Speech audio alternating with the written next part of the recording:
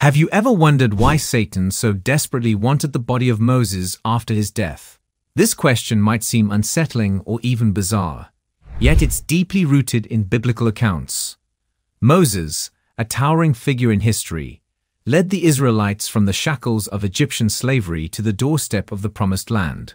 He was the conduit for the Ten Commandments, a beacon of hope and faith. But what transpired after his demise was shocking. According to the Bible, God laid Moses to rest in an undisclosed location. Yet a peculiar event unfolded. There was a fierce altercation between Angel Michael and the devil over Moses' remains. This isn't a tale spun from thin air, but a reference from the book of Jude, verse 9, where the archangel Michael and Satan lock horns seriously over the body of Moses. This scenario raises more questions than it answers. So let's delve into the biblical events surrounding Moses' death and this peculiar dispute. Moses, the man who had led the Israelites out of Egypt, who had received the Ten Commandments directly from God, and who had guided his people towards the Promised Land, was now on the verge of death.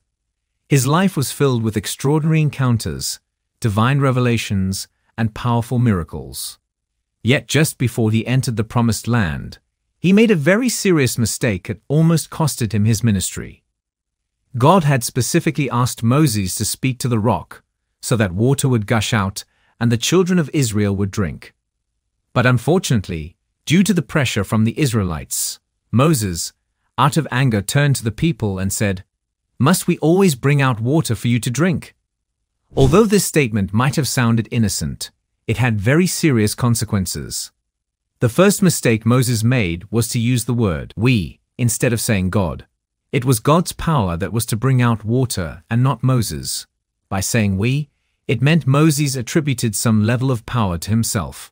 Secondly, Moses struck the rock when God had actually told him to speak to it.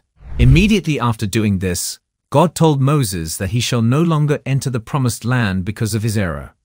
Think about it. Can you imagine all that Moses had gone through just to miss it at the end, after which he died? The book of Deuteronomy, chapter 34, verses 5 and 6, narrates the event of Moses' death. It says, So Moses, the servant of the Lord, died there in the land of Moab, according to the word of the Lord, and he buried him in a valley in the land of Moab, opposite Beth-peor. But no one knows his grave to this day. This passage tells us that Moses died in the land of Moab as per God's words, and then, in a mysterious and divine act, God himself buried Moses. This is an unusual occurrence in the Bible. God, the creator of the universe, personally involving himself in the burial of a man. It is not often that we hear of God carrying out a burial. This act of divine intervention signifies the special bond that Moses shared with God. Moses was not just a servant of the Lord. He was a friend. And in this friendship, we see a remarkable act of love, respect, and honor. But then a question arises. Why did God choose to bury Moses in a secret place? Why was the location of his grave kept hidden from the world? The answer to this question takes us into a deeper exploration of God's wisdom and Satan's cunning plans where we find Michael the Archangel and Satan locked in a fierce dispute. Not here on earth, but in the heavenly realms. This was no ordinary argument. But then Satan came to claim the body of Moses. His audacious move is met with resistance by none other than Michael the Archangel. The Bible doesn't provide us with all the details of this celestial confrontation, but we know that Michael's standing firm in his divine duty resisted Satan's claim. Michael, an archangel of great power and authority, stood his ground. However, he did not rebuke Satan in his own name or power. Instead, he said, The Lord rebuke you. Here we see the humility and wisdom of the archangel Michael, who acknowledges that the power to rebuke Satan comes from God alone. One might wonder, why would a celestial being like Satan be so interested in the mortal remains of Moses? What could he possibly gain from possessing the body of a man who had already passed away? Firstly, there's a chance that Satan wanted to prevent Moses from being resurrected or assumed into heaven. Satan might have wrongly assumed that God planned to take Moses into heaven, just like Elijah or Enoch. In the Gospel of Matthew 17, Moses appeared with Elijah on the Mount of Transfiguration with Jesus. Satan, being the cunning adversary that he is, may have tried to stop this from happening by taking possession of Moses' body. Another major reason Satan wanted the body of Moses was because Satan most likely wanted to use Moses' body as an object of idolatry for the Israelites. Remember the golden calf incident in Exodus 32?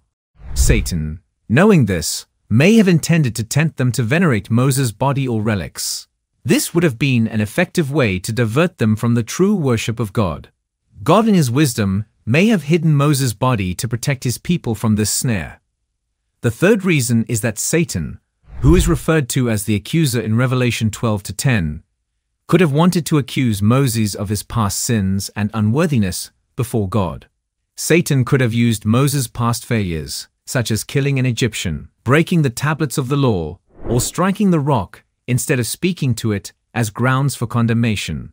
The devil loves to accuse and condemn, and Moses, despite his great deeds, was not without sins. Lastly, Satan might have wanted to mock God's plan and power. By seizing Moses' body, Satan could have attempted to claim a trophy of his victory over God's chosen leader and mediator. The devil, in his pride and rebellion, constantly seeks to challenge God and his plans. But let's remember this. While Satan's cunning nature knows no bounds, neither does God's wisdom. God's power and wisdom are infinitely greater than Satan's schemes. Even when Satan fought hard for Moses' body, it was God who had the final say. God's purposes cannot be thwarted, and his plans cannot be foiled. Satan's cunning knows no bounds, but neither does God's wisdom. God is always one step ahead, and his wisdom and power far exceed anything Satan can muster. Even in the face of Satan's craftiness, God's plans always prevail.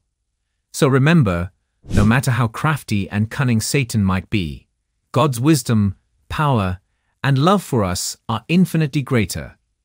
Beyond the dispute, there's a greater lesson. It's a story we've unraveled today, a complex narrative woven into the fabric of our faith, a tale of God's chosen leader, Moses, and the battle that ensued over his lifeless body. But let's step back for a moment. Let's look beyond the battle, beyond the motives of Satan, and find the greater message hidden within this story. First, it's a reminder of the importance of true worship. The Israelites, time and again, fell into the snare of idolatry. Whether it was the golden calf or the bronze serpent, they were easily swayed away from the worship of the one true God. The potential misuse of Moses' body as an object of veneration underscores this struggle, reminding us to keep our worship focused on God alone. Second, it's a testament that God's grace extends beyond our shortcomings and that his love is stronger than our past failures. Finally, this story serves as a stark reminder of the need to resist Satan's temptations. Satan is crafty, cunning, and will use any means to divert us from God's path. But as Michael the Archangel demonstrated with faith and the power of God's Word, we can stand against these temptations. Let's remember the story of Moses' body not as a gruesome battle, but as a testament to God's enduring protection and guidance. It's a testament that continues to resonate, reminding us of the importance of true worship, the power of God's redemption, and the need to resist Satan's temptations.